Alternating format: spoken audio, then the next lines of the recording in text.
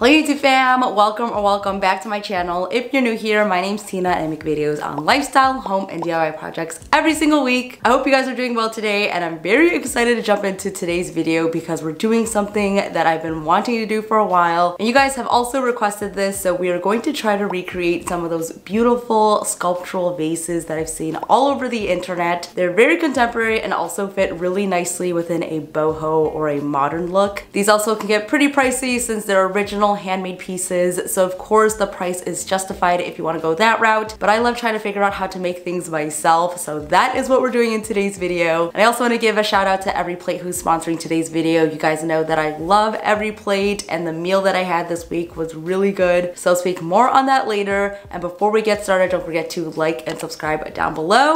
And let's go ahead and get started.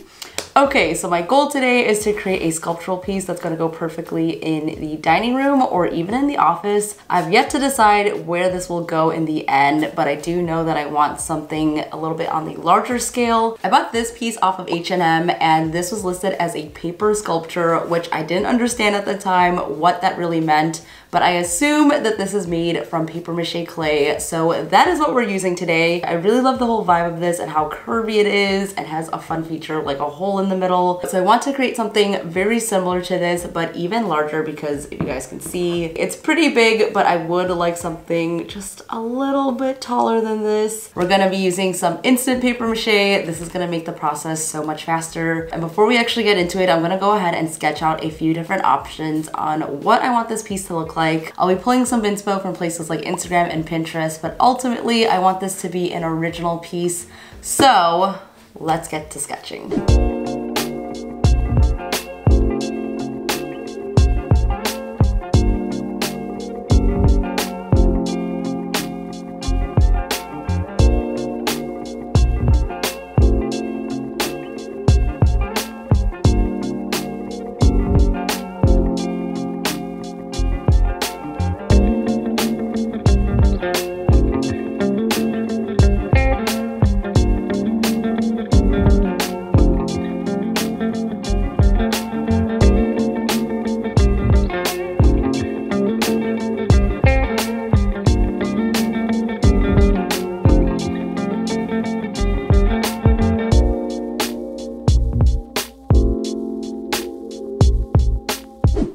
So here are all of my sketches. I drew a couple over here that are actually inspired by other H&M vases and I love all the curves of this one. I've also seen vases like this that have a little bit of an arch over here and this is actually for putting in florals and it's off-centered so I like that idea a lot too. So I did many different variations and I kind of like this one but ultimately I like this one over here with kind of the four little things protruding out, it kind of combines a donut vase with a little arch. So I really like how this looks and I'm going to get started on the project. To build out the armature, I mostly use aluminum foil, paper, and some cardboard. You could also use things like wire to give your armature more strength. The first thing I did was to make the circle part and all you need to do is to roll up the foil and bunch it up a little bit and then connect it together to make a ring. So you want to build this out almost as thick as how you want your piece to be. So you're going to see that I add on a few layers to get my desired shape. And if you find that your foil is not holding together, you could also tape it up with some masking tape, or you can even use hot glue to hold it all together. I wanted to save some foil because I actually was using quite a bit of this and I needed to use some for dinner that night. So for the arch part, I actually used paper to create the core of it and then I wrapped it around with foil.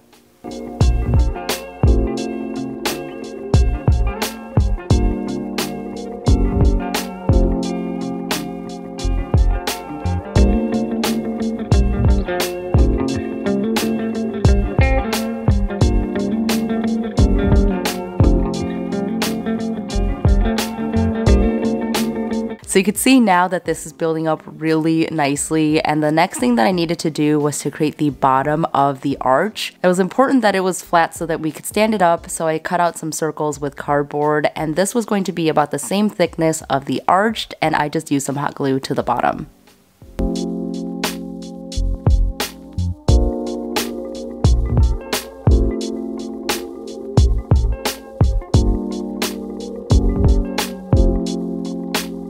Okay, now to glue the two parts together, I just used some good old hot glue here as well. And then I went ahead and wrapped it up with some masking tape for just a little bit more stability. And after that, we of course are going to add on even more foil. This project is the first time that I'm using paper mache to build a sculptural piece, so it's a lot of experimentation and trial and error, and I've learned that there are just so many ways that you can work with paper mache to create a beautiful piece. So I hope that showing you guys my process will help you create your own pieces as well.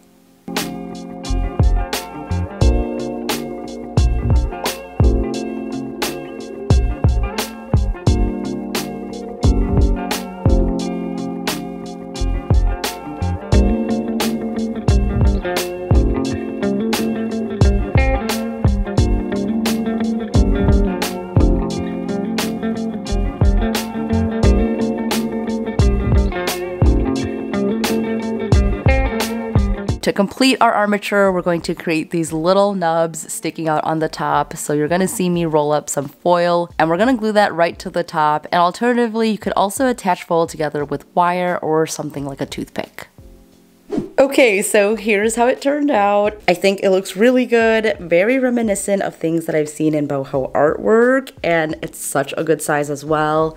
It is pretty sturdy, but once we get the paper mache on there, it's all going to come to life. I'm taking a quick pause on the project to talk about today's video sponsor, EveryPlate. I'm a big fan of EveryPlate, but if you haven't heard of them yet, they are America's best value meal kit that gets delivered straight to your door. And EveryPlate dinners are the cheaper and healthier alternative to takeout or delivery. They offer over 10 chef designed recipes every week, so there's a lot to choose from. And every meal is about $4.99 per serving, which I think is a great value. So far, I've really loved every one of their meals, but this one has to be one of my top favorites and it was just so easy to make as well. It's been so nice spending more time in the new kitchen. And one of the reasons why I really love EveryPlate is because I get to learn new recipes and things to cook every week. And it just keeps making dinner feeling fresh and exciting every night because I definitely go through recipe rut as a newbie chef. And if you really like a recipe, you can also choose their double up option, which allows you to select more than one meal of your choice. The recipes come together in about 30 minutes, which is honestly faster than a trip to the grocery store. So you can spend more time cooking with your family or significant other at home and less time shopping and meal planning.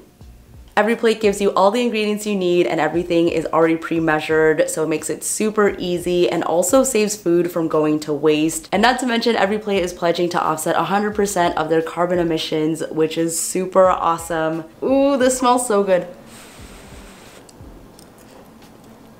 Mmm, definitely recommend. Oh, so good. Try some. This was actually my first time cooking ginger, so I'm pretty impressed with myself. 10 out of 10 for this one. The taste of your cooking? Both. and if you want to check out EveryPlate for yourself, they're giving you guys an amazing offer. You can get your first box for only $1.79 per meal with my link down below. Plus, they're giving you an additional 20% off of your next two boxes with the link down below and using my special code as well. Have all that good information down below, so be sure to check it out. Okay, it is time to mix up our paper mache. So I am basically going to eyeball this and I'm mixing up my instant paper mache with some warm water. And this is really gonna depend on the consistency that you want your paper to be. I had about a one to one ratio of paper mache to water and I kind of made this a little bit more on the thin side to start with. You can also create your own paper mache at home with some shredded paper, glue, flour, and water. And there are a lot of different recipes out there, so I'm going to link some resources down below. So once that's all mixed together, I'm going to go ahead and add in some joint compound. This is going to help create a smoother finish and also creates a more clay-like consistency. You can kind of see the difference of what it looked like before versus after mixing in the joint compound. And I have mixed in joint compound with paper mache before to make bowls. And if you haven't seen that tutorial yet, I'll have that link down below as well. With the rubber spatula, I'm spreading the paper mache clay right onto our armature and the paper mache clay is going to stick onto most surfaces so all the little grooves in the foil gives it a little bit of grip to stick onto. But if you're using something like strips of paper to create paper mache, you will want to make sure that the surface underneath is going to be something like paper or masking tape to allow it to stick. I found this to be very buildable and the rubber spatula really helped me spread on the clay nicely. So this is definitely going to be a tool that you want to have. And I'm using a small one just to get into all those little nooks and crannies. Some advantages to using paper mache clay is that it is environmentally friendly because you're using a lot of recycled paper and it is also very durable. So in the past, I have thought about making larger scale pieces like this with air dry clay or polymer clay, but I was always afraid that it would break really easily. So I find that with paper mache clay, once it's dry, the piece is going to be so much harder and stronger and it just doesn't feel as fragile. So handling it won't really be an issue and it's it's also super lightweight. Okay, so once the paper mache clay hardened a little bit, I went back in with the rubber spatula to smooth it all out, and you can already see the difference between the two sides. This seriously works so well. And I also found that the paper mache was a lot nicer to work with once it dried down more, so that way it's a little bit thicker and felt like a true clay consistency. You guys, look how dark it is, and it's only 5 o'clock. Ah.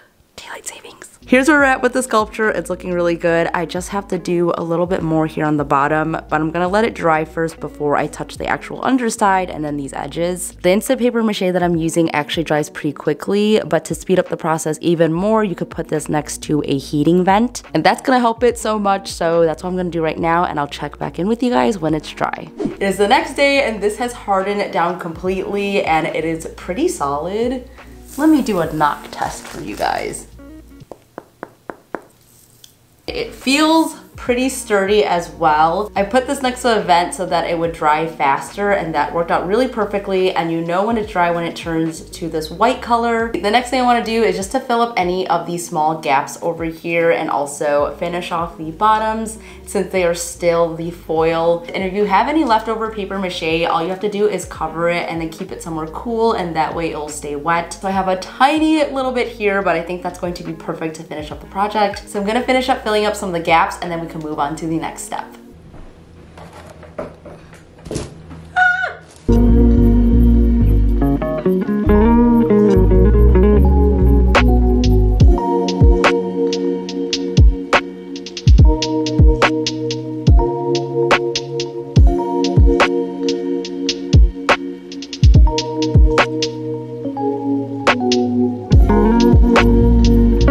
Right, we are at the final stretch. This is looking pretty good. The last thing we need to do is just to kind of smooth it all up.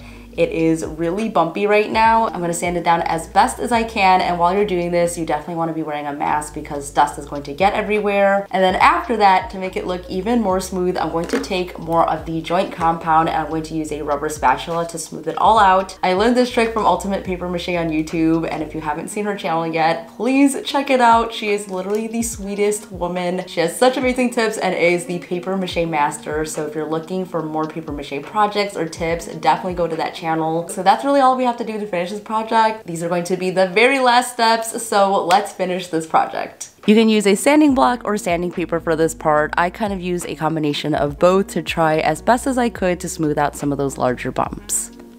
I honestly didn't mind if there was some unevenness on the surface just because I didn't want it to look perfect and have a little bit of texture on there. But when it came to some of those smaller bumps from the paper, I definitely wanted to smooth those out. I've also seen pieces with a much more textured surface as well, so if you like the bumpy look, you could just leave it and skip the next step as well. Moving on to the next step, I'm using my rubber spatula and some joint compound again, and here I'm spreading on a very thin layer. This is gonna do a really good job of getting into those small divots in the paper mache and fill it up to create a really smooth surface. And again, I think the rubber spatula is key in getting the best finish and you can already see what a difference it's making. So I let that dry down for about an hour and here's how it's looking. We're gonna smooth the joint compound even more by using a damp towel and you'll see that I'm wiping it with some small circular motions. And since joint compound is not waterproof, you're kind of able to wipe it away and make it super even. I really like this method just because you don't have to deal with any more sanding or dust, but if you want to go down that route, you can totally use a fine grit sandpaper for this step as well. Okay, so for our last step, we have to seal it or paint it, so it's really up to you here. I added some gesso just to prime this first, and I also think it's going to do a really good job of protecting the joint compound since it's very soft as well. And from there, you can paint it or do whatever you want with it. I went ahead and used a stone spray paint in the color limestone. This is just one of my favorite spray paints now. I really love the color and the texture that this gives, so this is a must have in my DIY arsenal now now. I did about two coats of that and then one clear top coat and with that our paper mache piece is done. This paper sculpture was so much fun for me to create and figure out how to make it exactly how I wanted it. I plan on styling this in another room, so look out for a little cameo of this piece in a future makeover video. And I think this really does look like a pricey sculpture you would find at a high-end home decor shop, and all it really took was paper mache, joint compound, and a little bit of patience. I cannot believe how well the project turned out and I hope you guys liked going through this whole journey with me. It definitely was a process and I hope that watching this video helps you guys learn as well. I cannot wait to see all of your projects after this video goes up. I know they're gonna be amazing. And if you wanna share them with me, be sure to tag me over on Instagram and give me a follow. I post on there every single day. And a big thank you to EveryPlate for sponsoring today's video. If you're interested in checking them out and getting your first box for only $1.79 per meal, make sure to click on my link down below and also use use my discount code. I'll have all the info down below. And that is it for today's video. Thank you so much for watching. Stay inspired and I'll see you in the next one. Bye!